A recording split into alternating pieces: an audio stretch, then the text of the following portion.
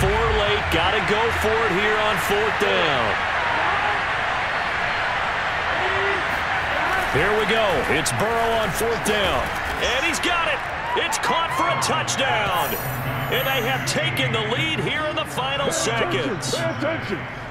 So for those of little faith, guess what?